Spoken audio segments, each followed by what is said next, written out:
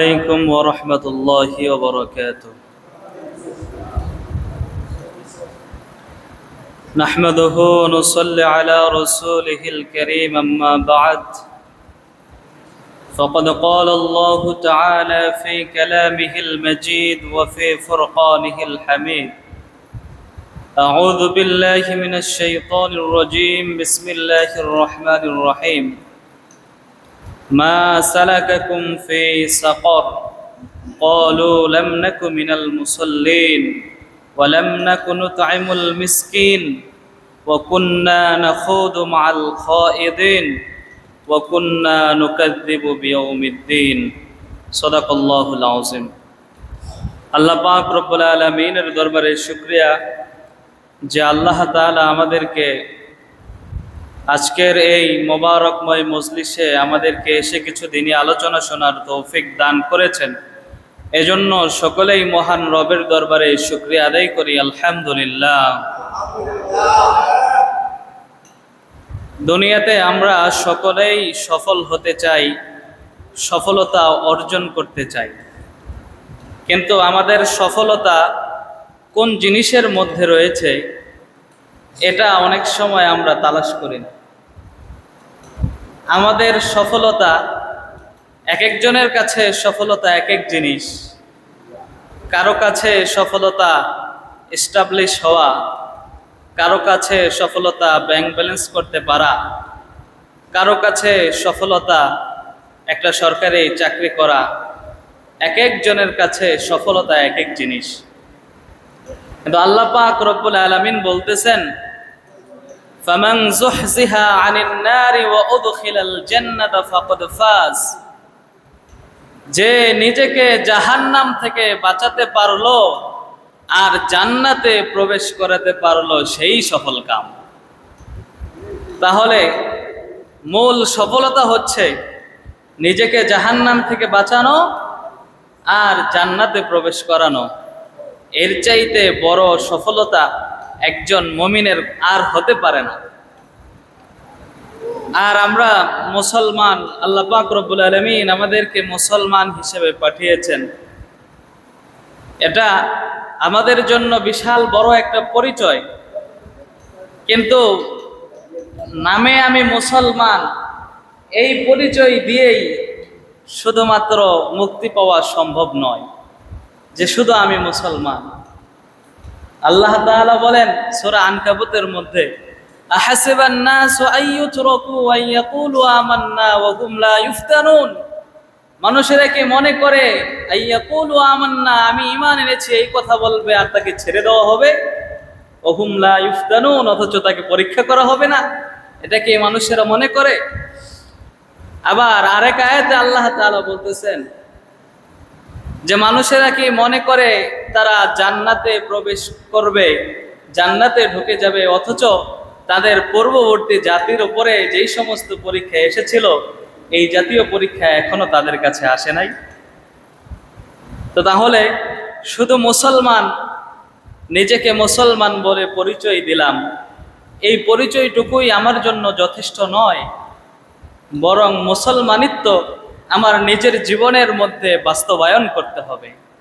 আমাকে খাঁটি মুসলমান হতে হবে। আল্লাহ বলেন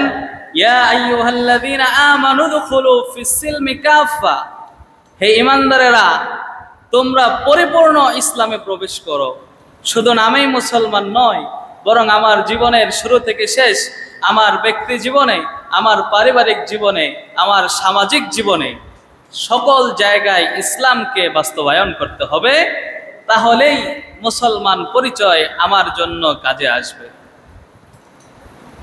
তো কেয়ামতের দিন আল্লাহ পাক রব্বুল আলমিন যে সমস্ত মানুষদেরকে জাহান নামে দিবেন, এদের মধ্যে কিছু মানুষ এমনও থাকবে যে যারা নিজেদেরকে মুসলমান বলে পরিচয় দিত, কিন্তু তাদের জন্য ফয়সালা হয়ে গিয়েছে জাহান্নাম।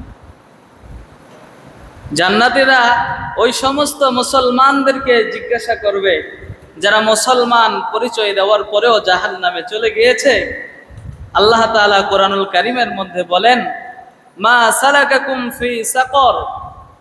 যে যেই সমস্ত মানুষ নিজেদেরকে মুসলমান পরিচয় দেওয়ার পরেও তারা জাহান নামে চলে গেল, এদেরকে জান্নাতিরা জিজ্ঞাসা করবে, মা সালাকা কুমফি সাকর? কোন জিনিস তোমাদেরকে জাহান নামে নিয়ে এসেছে? দুনিয়াতে তুমিও মুসলমান ছিলে, আমিও মুসলমান ছিলাম। আজকে আমি জান্নাতে বসবাস করতেছি, কিন্তু তোমার বসবাসের জায়গা জাহান্নাম। কোন জিনিস তোমাকে জাহান্নামে নিয়ে এসেছে? তো চারটা বদ গুণের কথা আল্লাহ তাআলা কোরআনুল করিমের মধ্যে উল্লেখ করেছেন। এই বদ গুণগুলো যাদের মধ্যে থাকবে, মুসলমান হওয়া সত্ত্বেও তাদের জাহান নামে যেতে হতে পারে। তো জাহান নামীরা সেদিন জান্নাতীদেরকে জবাব দেবে, যেই সমস্ত গুনাহের কারণে আজকে তারা জাহান নামে গিয়েছে, এক নম্বর তাদের স্বীকারোক্তি হবে মুসল্লিন। দুনিয়াতে আমি মুসলমান ছিলাম কিন্তু মুসল্লি ছিলাম না।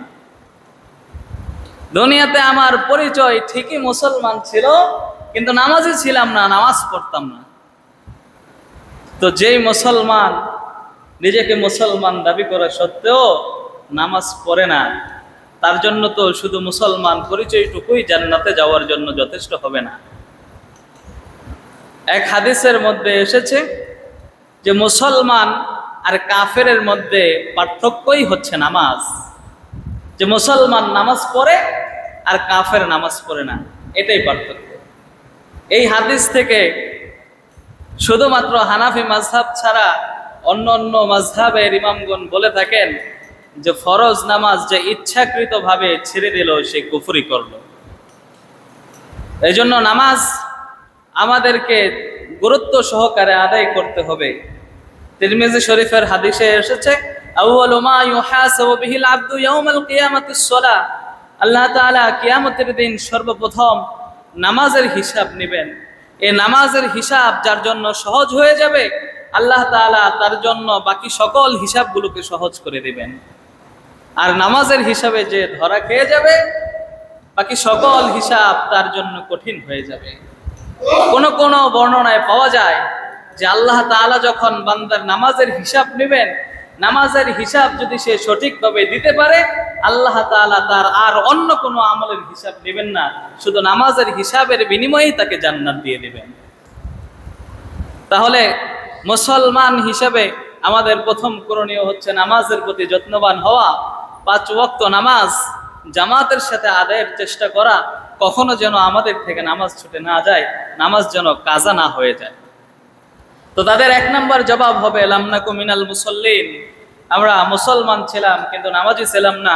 নামাজ না পড়ার কারণে আজকে আমরা জাহান নামে এসেছি। দুই নম্বর নুতাইমুল মিসকিন। যে আমরা ধনবান ছিলাম ধনাট্য ছিলাম, কিন্তু মিসকিনদেরকে আহার দান করতাম না। ওয়ালাম নাকু নুতাইমুল মিসকিন। যারা গরিব, যারা দরিদ্র তাদেরকে আমরা কোনোভাবে সহযোগিতা করতাম না। তো এটা মমিনের গুণ হতে পারে না। হাদিস শরীফের মধ্যে এসেছে আহসেন ইলা জারিকা, তাকুন মিনান তুমি তোমার প্রতিবেশীর সাথে ভালো আচরণ করো, তাহলে তুমি মমিন হতে পারবে।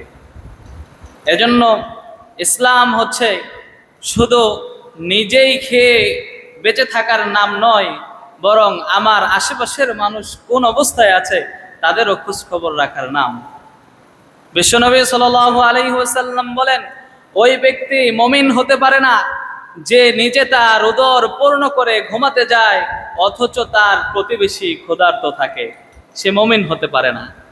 আবার আরেক হাদিস থেকে পাওয়া যায় যে, যখন তুমি গোস্ত রান্না করবে গোস্তের ভিতরে ঝোল বাড়িয়ে দিও, প্রতিবেশীকে গোস্ত দিতে না পারলেও অন্তত একটু ঝোল যেন দিতে পারো।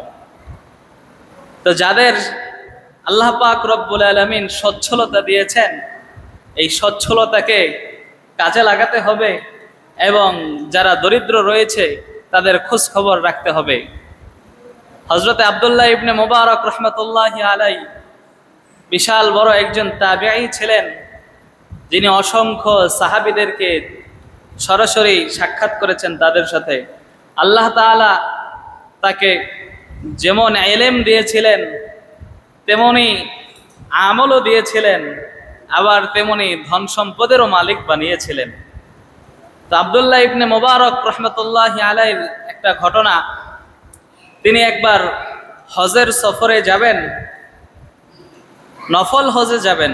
ফরজ হজ তিনি আগেই আদায় করে নিয়েছেন। নফল হজে যাওয়ার জন্য প্রস্তুতি নিচ্ছেন। টাকা পয়সা সব কিছু জোগাড় করা শেষ। মাত্রই তিনি হজের সফরের উদ্দেশ্যে বের করবেন, বের হবেন, এমন সময় তিনি দেখতেছেন তার ছোট্ট একটা বাচ্চা সে কান্না করতেছে।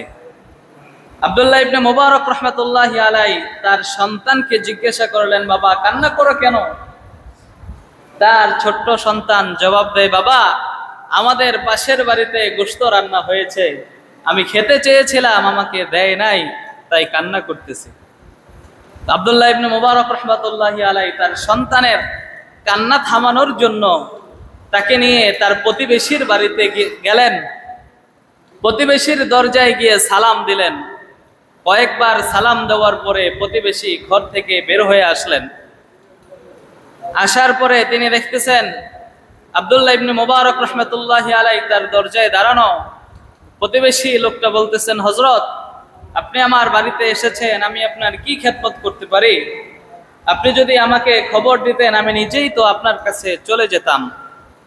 আবদুল্লাহ ইবনে মোবারক রহমতুল্লাহ আলাই বলেন, আমি হজে যাওয়ার জন্য বের হচ্ছিলাম। এমন সময় দেখলাম আমার ছোট্ট বাচ্চাটা কান্না করতেছে। তার কাছ থেকে জানতে পারলাম যে তোমার বাড়িতে নাকি গোস্ত রান্না হয়েছে, আর আমার বাচ্চাটা খেতে চেয়েছিল, তুমি দাওনি। ওই প্রতিবেশী তখন তার চোখের পানি ছেড়ে দিয়ে আবদুল্লাহ ইবনে মুবারক রহমতুল্লাহ আলাইকে বললেন, হুজুর, আমার বাড়িতে গোস্ত রান্না হয়েছে সত্য, কিন্তু এই গোস্ত আমার আর আমার পরিবারের জন্য খাওয়া হালাল, আপনার আর আপনার পরিবারের জন্য খাওয়া হারাম। আবদুল্লাহ ইবনে মুবারক রহমতুল্লাহ আলাই তাকে জিজ্ঞাসা করলেন, এটা কেমন গোস্ত হতে পারে যেটা আমাদের জন্য হারাম আর তোমাদের জন্য হালাল? ওই প্রতিবেশী তখন জবাব দেয় আজ থেকে তিন দিন যাবৎ আমার বাড়িতে কোনো প্রকারের খাবার নেই। আমি তিন দিন কাজের সন্ধানে বের হয়েছি। সারাদিন কাজ তালাশ করার পরেও একটা কাজ খুঁজে পাইনি। একে একে যখন তিন দিন চলে গিয়েছে, খোদার যন্ত্রণায় যখন মারা যাওয়ার উপক্রম হয়ে গিয়েছি, মারা যাব, এমন সময়ে রাস্তা দিয়ে আসার সময় দেখলাম, রাস্তার পাশে একটা মরা গরু পড়ে আছে। সেখান থেকে কিছু গোস্ত কেটে এনে রান্না করেছি নিজের জীবন বাঁচানোর জন্য আর পরিবারের সকলের জীবন বাঁচানোর জন্য। এখন এই গোস্ত যদি আপনার সন্তানকে না দিয়ে ভুল করে থাকে, হুজুর মাফ করে দিবেন। এই কথা শোনার পরে আবদুল্লাহ ইবনে মোবারক রহমতুল্লাহ আলাই চোখে পানি চলে এসেছে।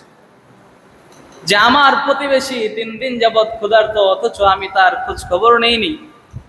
আবদুল্লাহ ইবনে মোবারক তাকে সেখানে দাঁড়া করে রেখে তিনি তার ঘরে চলে গেলেন।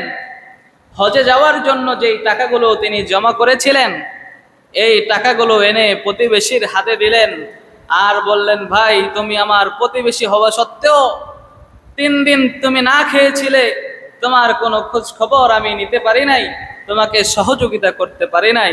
কেয়ামতের দিন যদি আল্লাহ পাক রব্বুল আলমিন আমাকে জিজ্ঞাসা করেন যে তোমার টাকা পয়সা সত্ত্বেও তোমার প্রতিবেশী ক্ষুধার্ত ছিলে তুমি খোঁজ খবর নেওনি, তখন আমি কোনো জবাব দিতে পারব না।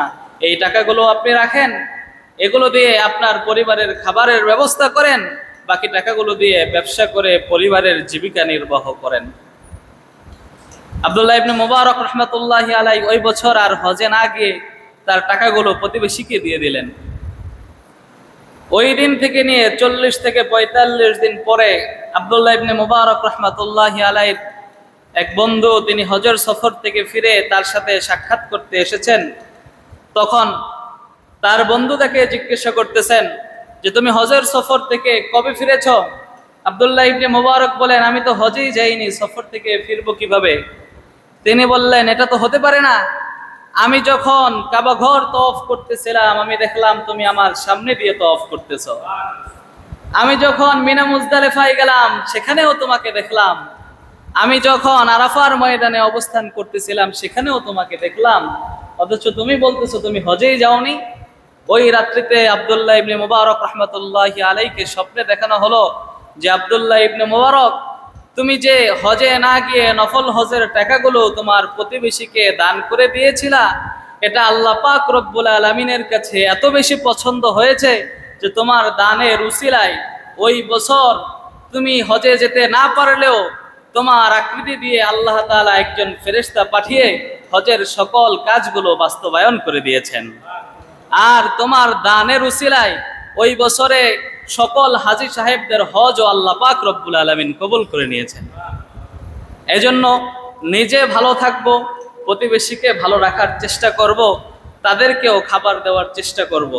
তিন নাম্বার যে অপরাধের কারণে মুসলমান হওয়া সত্ত্বেও জাহান নামে যেতে হবে, সেটা হচ্ছে অকন্যা না খৌদমাল খ ইদিন তারা বলবে, দুনিয়াতে যারা সমালোচনা করত, গিবত করত, আমরাও তাদের সঙ্গে সমালোচনা করতাম। চার নম্বর ওয়াকুন্না নুকাদ্দিব বিয়মিদ্দিন আমরা কিয়ামত দিবসের ব্যাপারে সন্দেহ পোষণ করতাম, বিশ্বাস করতাম না। এই চারটা অপরাধের কারণে আমরা জাহান নামে এসেছি। এজন্য আল্লাহ পাক রব্বুল আলমিন যেন আমাদের সবাইকে এই চারটা জিনিস থেকে বেঁচে থাকার তৌফিক দেন, পরিপূর্ণ মুসলমান হয়ে যেন কবরে যেতে পারি। আল্লাহ পাক রব্বুল আলমিন তৌফিক দান করুন। ও আখির দাওয়ান আলহামদুলিল্লাহ রবিল আলমিন।